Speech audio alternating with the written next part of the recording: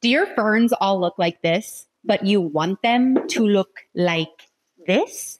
Well, stay tuned. We're going to help you out. Growing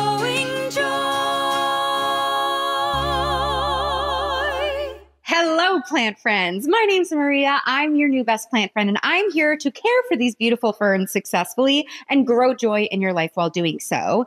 I'm so excited to be making this video in partnership with Proven Winners Leaf Joy because the fern family is so amazing. I mean, talk about lush foliage that you want to just like run your fingers over. But man, is it a bummer when you get a fern at a store, you bring it home because you think it's going to look really beautiful. And then a month in, and it looks like this, right? A lot of people struggle with ferns, and I totally get it because they need high humidity, they need a specific environment. But once you dial it in, they're actually not that hard to care for. And there are varieties that are a lot easier to care for, right? If you bring a maidenhair fern home, you're not going to be happy. But there's a wild world of ferns out there beyond the maidenhair fern that are going to be much better choices for you. So let's dive in. Now, I'm going to get this ugly fern out of the frame for the rest of this video, but stay tuned until the end. We're going to do a little fern resuscitation, so stay tuned till the end. But for now, my friend, we're going to get rid of you because you're kind of you're not the vibe for this video. Okay, let's talk about ferns. I want to zoom out and think about these plants and where they live outdoors. And then we're going to chunk it down and figure out how to build our environment to be supportive for them. So, cool thing about ferns is they're one of the original plants on the earth. They are one of the original colonizers of the land, one of the first plants to grow and develop. So, even though they're hard to keep indoors, they're actually surprisingly resilient. They're dinosaurs. They've been around since prehistoric times. When the dinosaurs were living, they were hanging out with ferns. I think that's pretty cool. And I think, you know, a lot of times with the indoor jungle, we think, you know, indoor jungle, monstera, indoor jungle, you know, philodendron, but indoor dinosaurs, ferns, pretty cool. And because of that, they're super resilient. So even though they are kind of hard to care for indoors, they've adapted over time. So there are ferns that do well in totally different environments, which I think is fascinating. They've adapted so much, they've adapted all over the world to endure different climates.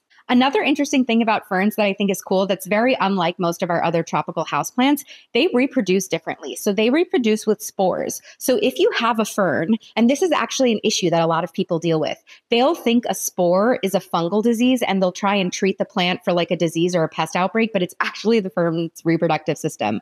So usually spores show up as dark brown dots on the undersides of the leaves, or they'll even look like little lines. So just know that that's actually the way that the ferns reproduce they kind of the spore sacs kind of explode and travel in the air and then germinate elsewhere. You can potentially make a fern out of a spore but it's next level. We're not going to cover that in this video but just know that just is a sign that your fern's really happy and ready to throw off some babies so ferns live in a variety of different climates, but mostly they're in high humidity environments. So I'll always remember I was doing this hike in Seattle. We went up the mountain, and as we went up farther and farther up, it got more and more humid. And there were just maidenhair ferns like popping out of rocks on the side of the mountain. It's kind of infuriating, but they love high humidity environments. They grow on the ground, mostly in clumps. So they also like kind of a nutrient dense soil and they like moisture. They like a moist soil and they like moisture in the air. That is going to be the key to having happy ferns. So, with that knowledge, let's dive into care. So, first off, when it comes to watering, you your ferns are going to be happiest with evenly wet soil. Ferns are not a plant that you can let dry out. When you let the plant dry out, that's the minute that the fern is going to turn crispy. Its leaves are going to fall over, they're going to brown, they're going to fall off. You're going to get a lot of those brown fronds like in the in the resuscitation plant that you saw. So, you're going to want to keep evenly moist soil. And the way that you can do that is putting your plants in plastic pots. So, if you buy a fern, keep your plant in the plastic plastic nursery pot and then slip it into an outer pot, right? So just slip this fern into another pot or pot them in glazed pots, right? Glazed pots that are sealed will help keep the moisture in the soil. I would never put a fern in a terracotta pot. If you're going to water your fern every day, if you're a mindful plant parent, you're welcome to take the plant parent personality test on my website to find out what plant parent personality you are. One of the personalities is a mindful plant parent, someone who wants to engage with their plants on a daily basis, then yes, you can put your fern in a terracotta pot if you're going to water it like every day and be a helicopter plant parent, but I would not advise that for the average, the average beginner plant parent who's trying to do ferns. The beautiful thing about ferns is when it comes to light, they are low light tolerant. They live on the understory right of the jungle. In homes with indoor plants, I feel like it's always a fight for the bright light, right? You're always trying to crowd your plants up close to your windows. But with ferns, the beauty is you can put them a little bit farther back from the window. They are low light tolerant. Do not put your fern in a bathroom with no window. A lot of people do that because they're high humidity loving plants. So they think, oh, my bathroom is humid. Let me put my fern in there it still needs a window. No light equals dead plant because light is required for photosynthesis, which is how your plant makes food. Put it in a humid environment, but if you're going to put it in your bathroom, make sure your bathroom has a window. But yeah, they're low light tolerant. So you can put them, you know, bright indirect light, gentle bright indirect light. You can put them in an eastern facing window with gentle morning sun, but the ferns will scorch if you put them in western, you know, really strong or a southern facing window. So if you have western or southern facing windows, just put them like a foot away from that. Obviously, lighting is totally personal to what your home is like, what season you're in, if you have trees outside, if you're in shade. If indoor light is a struggle for you, you're welcome to download my free indoor lighting worksheet sheet. It takes you through three days of measuring the light so you can really have a great grasp of what light you're working with so you can pick the appropriate ferns. But the lucky part is ferns are low light tolerant. So now let's talk about humidity. The trick with ferns is humidity. If you want your fern fronds to stay beautiful and green, humidity is where you're going to start to see that crisping up, right? So if you can put your ferns near a humidifier, that's great. I've done something for the set of this video where I've grouped a lot of plants together. That sometimes will also increase the humidity a little bit. You need a bunch of plants together. This isn't going to work with just two plants, but via their transpiration, that will kind of increase humidity. You can also grow your ferns under glass. I have found tremendous success with this. So I live in the woods in northern New York. Sometimes in the winter, it gets as low as 20% humidity in my home. So the only way that I'm really able to keep ferns is sticking them under a glass cloche or in like a big vase. And that's going to increase the humidity for that plant and help the fern thrive. Particularly with heart shaped ferns, the heart leaf fern, I've only been able to be successful that with that plant when I've grown under glass. So if you have a terrarium or a vivarium or a beautiful glass cloche that you bought, you know, there are always glass cloches at thrift stores and estate sales. Hot tip if you don't want to spend the $60 for one online, uh, you can usually grab one at a thrift store for like five or six dollars. But you really do need to raise the humidity. Ferns are going to like between 60 and 80% humidity. I know that's a hard number to get to in your house naturally. So usually you're going to need a humidifier, grouping the plants together. Because ferns are higher maintenance, I don't want to say they're high maintenance, but because they need a particular environment, because they need evenly moist soil because they don't like to dry out because you want to keep your eyes on them for crisping. I would definitely keep them away from radiators. I would also keep them in highly trafficked areas in your home. So this isn't a plant you want to like put high on a bookshelf in a room that you don't really go into and just trust that it's going to do well. This is a plant you want to keep in your kitchen, in your living room, in your bedroom, an area that you're going to be going in every day. So you can see if there's an underwatering, you can catch it really quickly, or you can, you know, address problems that come up. But if you follow the steps in this video, you're not going to have any problems. So we'll be okay. When it comes to fertilizing, I always like to say, don't wait for spring or summer to fertilize your houseplants because they're not necessarily going through the same seasons because they're indoors. So fertilize when you see new growth. One of my favorite aspects of having ferns is the new growth, right? The way a fern frond unfurls is poetry to me. It's so beautiful. These bird's nest ferns right here. This way that you see this fern just tenderly, gently, patiently, just like it shows up in this curly Q and then it just slowly opens up and then just basks in the sun. I just think it's so beautiful. It's a metaphor for life. It's a beautiful thing to witness. And it's one of the main reasons why I think you should have ferns because you don't see this shape in a lot of other tropical houseplants. A lot of other tropical houseplants unfurl this way, but the ferns unfurl this way. And I just think it's really cool. And with grooming your ferns, you're going to have to groom them, right? You're going to have the occasional fern frond, but ferns are really resilient. I can't tell you, I had a Boston fern for many years. It would go through periods where I would just neglect it. It would like be so, so crispy. I would cut that thing down to the studs. And as long as you water it, as long as the roots are healthy, that fern will come back. Ferns are so resilient. They've been around way longer than us and they're going to be around way longer after we're gone, right? So don't be afraid to, you know, cut off brown stems. That's what we're going to do in a little bit. If your fern does go through some shock, cut it back. Don't just toss it because it's going to come back bigger and bushier troubleshooting things with ferns is obviously going to be all of the all of the issues going on with this plant yellowing leaves brown leaves balding right um it's usually going to be with the yellowing and the brown leaves, it's going to be a water issue. It's going to be a water quality issue. So, depending on where you live, you might need to water with distilled water. It might be a humidity issue. If you have uniform browning, it's going to be a humidity issue. This fern, I don't think has the humidity issue because all of the fronds are in browning. This was a watering issue where some of them yellowed and browned and, and, fell off. Also, it can be a nutrition issue. So, if all of your fronds are getting really yellow um, or the plant is looking pretty sickly, it might just be time for you to fertilize. So, all ferns aren't created equal when it comes to houseplants. And I wanted to walk you through a bunch of different types of ferns that are great choices if you do want to bring a fern home, right? I am never going to advise a plant parent, especially if they're a beginner fern plant parent, to bring home a maidenhair fern. That is like the super Jedi level plant parent type of plant, right? You got to really know your your plant care for that. But there are some amazing varieties that I have for you today that I wanted to talk about that are way hardier, better options. And with that, as we dive into the different species, I just wanted to take a minute to thank today's sponsor of the video, Proven Winners Leaf Joy. These gorgeous houseplants are from Proven Winners Leaf Joy. They are growing the highest quality level of houseplants on the market that I have seen.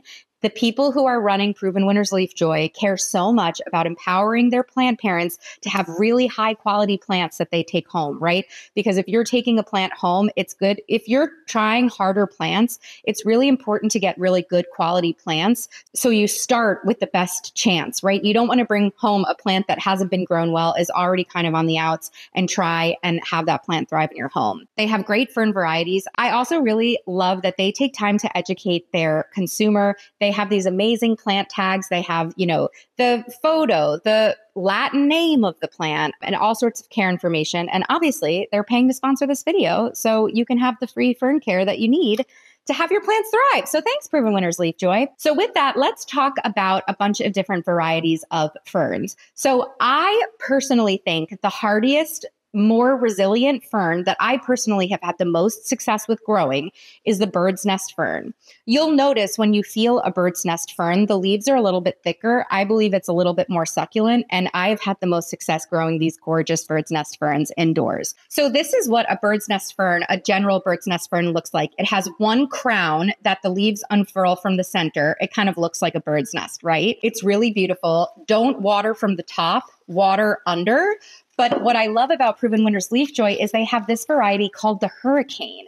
I think it's called Hurricane because all of the fronds kind of curl in this really cool way, but it's a really nice, compact, bushy plant you can feel the leaves. They're like tougher, they're thicker. I know that this plant is going to be a little bit more drought resilient. Not that I would ever say let this thing dry out. And it just seems really happy. You see, there's a ton of little baby fronds on the inside. I'm so excited to see them unfurl. Um, but there are so many different varieties of bird's nest fern. So you'll know it's a bird's nest fern if you have the little crown like this. This is also a wackadoo variety I thought was really fun. It's a bird's nest, but the leaves kind of look like parsley or lettuce. I think that's kind of fun. Um, but I love every single one of them. And I would say if you're a beginner plant parent, you're going to want to maybe try starting with a bird's nest fern. Another variety is the staghorn fern. This leaf joy variety is called sword dance. There are a couple of interesting things about the staghorn fern. They're, it's nicknamed the staghorn fern because its leaves kind of look like antlers. And it's really popular to mount these on like a wooden plank and hang them. So they're sometimes called the vegan antler. Like if you like that look of like a mounted deer head, but you don't want to have a dead animal's skull in your house, you can mount a staghorn fern and kind of have that same look. Staghorn, that's why antlers. They also have these shields that kind of protect the plant that is very unique to ferns that I think is really cool. These are going to be happier in chunkier mix because they're epiphytes. They grow on trees. That's why they love being mounted onto wood planks. But I think they're so cool and interesting. And I was thinking that I might mount this on a wooden board and hang it in my husband's office for him. Okay, So, my second favorite plant after the bird's nest fern, even though I like you too, staghorn fern, but you're not my favorite, is the rabbit's foot fern. And let me tell you multiple reasons why. This is the Devana variety from Leaf Joy. There's a couple of different types. Rab- it's nicknamed the rabbit's foot fern because it has fuzzy rhizomes that creep on top of the soil and they look like little rabbit's feet sitting on the soil. It's so weird. It's really creepy and freaky, and I think it's really fun. The rabbit's feet will sometimes even grow over the pot. I also love this particular variety because the leaves have this blue green tint to them. Not only do they have a really beautiful structure, but I just think the color, like amidst the sea of green, gives this like really interesting blue pop that also to me kind of makes it feel a little bit more prehistoric. I also love that it's the skinniest stem with the longest leaf. Like it's just so beautiful and happy definitely don't let this dry out. You're going to want to keep this in moist soil. I grew this once with a watering spike in it. Um, you can, it's a watering spike. Actually, I have one. Let me get it. Watering spike is a great hack for ferns because you need to keep the soil moist, right? So I fill this cutie little mushroom in the hole in the top. It has a terracotta porous cone at the bottom. This stays filled with water and then the cone releases water into the soil very slowly. So I've had this fern before where I've put a watering spike. This is obviously a little bit too big. This is just a demo. This is a little too big for this pot, but you can get a watering spike that's the appropriate size, put it in here, and that will help keep the soil evenly moist. I use these all the time on my ferns and my calathea. So that's the Devana. Any rabbit's foot fern, I think, is really beautiful. This is also a rabbit's foot fern. It's so lacy. I mean, those fronds look so delicate. The other cool thing with ferns is they are made up of fractals, which are geometric shapes that create when humans, there have been studies when we look at ferns and these fractal shapes that you find naturally in a lot of ferns, it increases alpha brain waves, which is like the feel good brain waves. So you feel good looking at ferns. So you should look at them more. Another you know, family of ferns that I think is so amazing is the Boston fern. You have Boston ferns, you have lemon button ferns. The lemon button ferns have like tiny little circles. They look like little buttons that are super cute. Boston fern is probably going to be like the most traditional fern that that you see. I don't know if you guys watch Will and Grace, but Will and Grace in their apartment always had the most epic Boston fern in the middle of their New York City living room. They never misted it. And I was just like, how does that fern look so good? Do you ever watch TV you ever watch TV shows and you're just like, there's no way that plant would be thriving in this environment? That's just something I've seen. I don't know. Let me know in the comments. Do you notice all the plants in a TV show? I do. Last but not least, we have this fern mother, which I freaking love the name of this plant. It's called fern mother because it grows little babies on its leaves. Sadly, we don't have any babies to show you on this plant because it's a little too juvenile, but I think that's really cool. This is like your bushy, basic fern. The leaves feel a little bit more succulent to me, so I think this would be another great option to try indoors. I've talked a lot of about the maidenhair fern and I'm doing it for a reason. As your plant friend, I'm never going to recommend you bring a maidenhair fern home. I've killed too many. I have too many friends who have killed too many. The maidenhair fern is a type of house plant where you bring it home and you try and you kill it and then you label yourself a plant killer forever and it's not your fault. They're not designed to be in non-humid environments, right? So if you do do the maidenhair fern, I intentionally do not have one with me because I didn't even want to, you know, give it space on the table because I wouldn't recommend it for beginner plant parents. But if you do, make sure that soil is moist and a scent. You're you're make sure you grow it under glass, honestly. Or if you're in a room with a humidifier. Or maybe you're just lucky and you live somewhere like Seattle or Florida where it's 80% humidity all day. But sadly, I'm not that lucky. Okay, last but not least, I just wanted to show you if you have a moment where a fern you is in a, you need a resuscitation moment with a fern. I just wanted to show you how I'm going to bring this thing back to life. This almost looks like it's not worthy of saving, but it totally is. I'm just going to go in and remove all of the dead fronds. It's going to make the plant look kind of bad for a little bit, but you just got to trust the process. It'll grow back. What if I just cut my finger off in the middle of this? Okay, so I have trimmed most of the brown fronds. I'll also probably take this out of the pot and repot the plant. I'll either pot it up if it needs a larger pot. Um, you can watch our video on repotting and potting up, or I'll just give it some fresh soil because I'm seeing a lot of yellow and I'm wondering if there's maybe a bit of a nutrient deficiency here. But it's all about just troubleshooting. And if you see, there's quite the bald spot over here. We had to cut off most of this plant, but this is going to grow back. Like, give this plant a couple weeks and this bald spot is going to fill it in. So, this is my fern care tutorial. I hope it's made ferns less scary. I think ferns are pretty scary for people. If you love ferns, let us know what your fern care tips are.